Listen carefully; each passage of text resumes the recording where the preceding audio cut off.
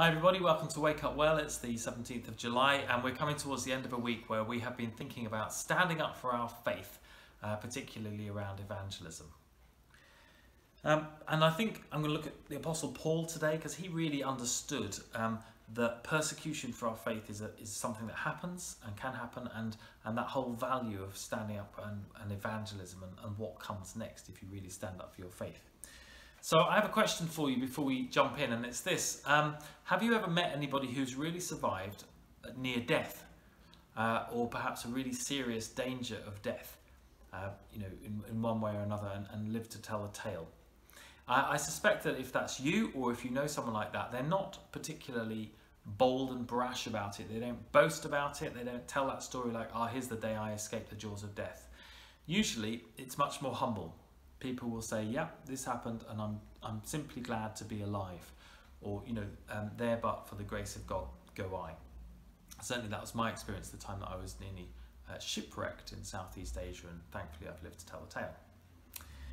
Well, rather than that kind of um, kind of boasting, uh, Paul is rather like that with his life as well. I want to read you the description that Paul the Apostle gives of his life and what happened to him sometimes because of following Jesus.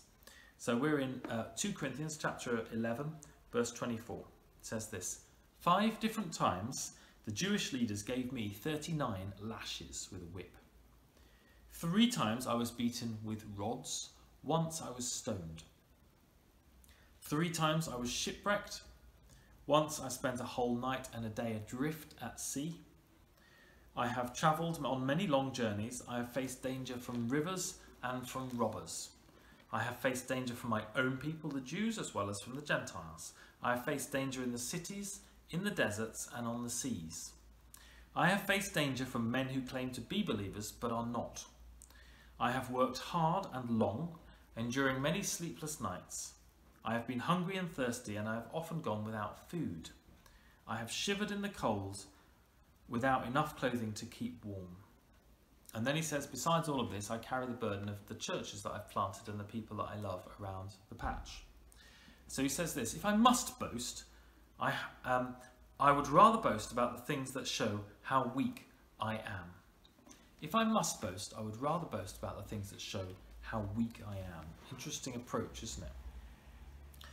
But Paul also is really happy to boast about the reason for his faith. So he says, you know, I'm also absolutely passionate and in love with Jesus who revealed himself to me.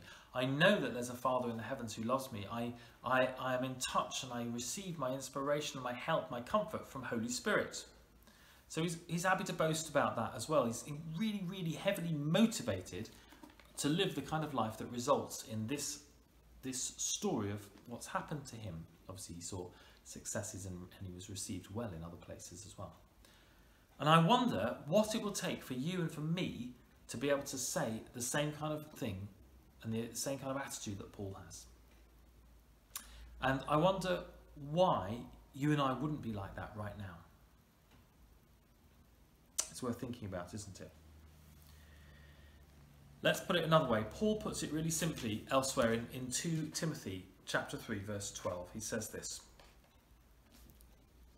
Everyone who wants to live a godly life in Christ Jesus will suffer persecution. Wow, simple as that. Everyone who really tries to live a godly life in Christ Jesus will suffer persecution one way or another. But this is what he says is really important. But, but you must remain faithful, verse 14, to the things that you have been taught. You must remain faithful to what you already know of God you know they are true, for you know that you can trust those who taught you. You've been taught by the Holy Scriptures since childhood, and they've given you the wisdom to receive the salvation that comes by trusting in Christ. So he says, stay true to what you already know. You and I already know that Jesus is real, that he loves us. It's, we've found it in scriptures, we've found it in our everyday life. Stay true to what we know that God's love is, is real and it's powerful and it's mighty stay true to the fact that we've seen our lives and the lives of others transformed. It's not just changes around the edges. Jesus transforms lives. Stay true to the fact that we know nothing is impossible with God, e even in the waiting and the praying. and the wondering. Stay true. Why? Well, verse 15, he, he kind of sum, summarizes it. He says, You've been given the wisdom. This, this kind of truth that you hear of and the scriptures, they are the wisdom to receive that kind of salvation that comes by trusting in Christ Jesus. Salvation means being saved from something and for something into wholeness of life. Paul was saved many times, even though he was beaten and shipwrecked many times, because he trusted, because he had this foundation upon which his life was, was, was resting. And so, in the light of all of this, in the light of this picture of why you and I would persevere and push on and keep true to that which we believe in and have been revealed to us about God, for the sake of passing on his message, Paul says this.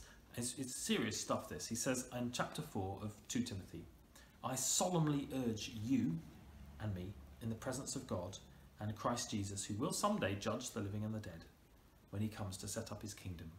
I urge you, preach the word. Preach the word of God. Be prepared whether the time is favourable or not. Patiently correct, rebuke, and encourage your people with good teaching. Because the time is coming when people will no longer listen to sound and wholesome teaching, rather like today. They will follow their own desires and they will look to teachers who just tell them whatever their itching ears want to hear. They will reject the truth and chase after myths. It's absolutely what happens today. So Paul says this, but you should keep a clear mind in every situation. Don't be afraid of suffering for the Lord. Work at telling others the good news and fully carry out the ministry that God has given you. Don't be afraid of suffering.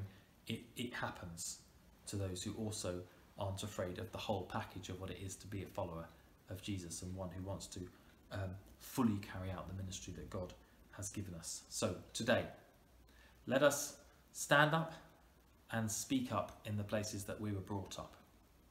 Let's do it. Let us tell others the good news with clear heads and a, a clear conscience. Yes, aware of the potential consequences, but also aware of the incredible eternal blessing which is ours uh, as we follow Jesus in everyday life. So it's not an easy word to hear today, but we can draw on the encouragement and the experience of someone who really walked it and saw it, and at the end of his life ha- had seen an incredible uh, birth of, of the church. And so I bless you this day to, to stand and to follow Jesus in all things in, in the everyday.